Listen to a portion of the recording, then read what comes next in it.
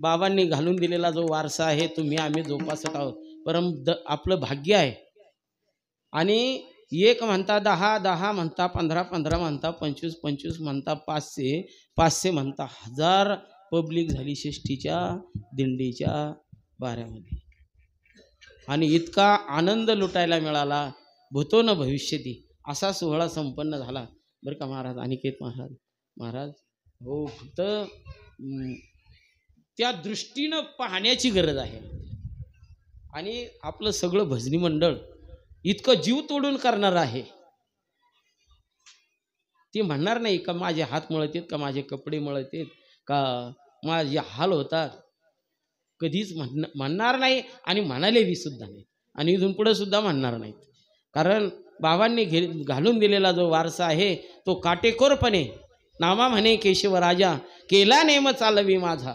नाही का? सोडणार नाही. फक्त त्या नियमाला अनुसरून एखाद्याच्या अंतकरणाला बसलं तर तो बाजूला होईल पण कोणाला बाजूला करणार नाही? हा एक महत्त्वाचा संदेश. आणि इथून पुढं आणखीन चांगलं स्वरूप त्याला येण्याकरता सगळ्यांची गरज आहे का नाही का? ज्याला चालता येत नाही त्याने उड्डाण करून यायचं. ज्याला चालता येत नाही त्याने उड्डाण करून यायचं पण ती झाली मौज माझ्या लुटायची बघायची त्याच्यापासून पारखं राहायचं नाही. कारण भजनी मंडळ इतकं सक्षम आहे आणि गावातले माणसं प्रोत्साहन देणारे आहेत. कोणी मागं वाढणार नाही. आपली खेकडी संस्कृती नाही. एक पुढं चालला म्हणून त्याचा पाय वाढायचा. बिलकुल नाही. उलट त्याला टेकन देतात. पडलेल्या सपराला जिगा द्यायचं काम करणारं आमचं मंडळ आहे. एकाला हात जरी मारली ना कीर्तनाला एकाला जरी सांगितलं तरी सगळे धावून पडतात. असा ख्याती आहे. आणि सगळेच भजनी मंडळाची स्तुती करतात. तसं मी बी करायला काही अडचण नाही ना. कारण मी भजने आहे ना. आणि मी भजने आहे ना विशेष म्हणजे. करणारे कोण आहेत? बाबांनी वॉर्निंग द्यायची आणि तुम्ही आम्ही अंमलबजावणी करायची.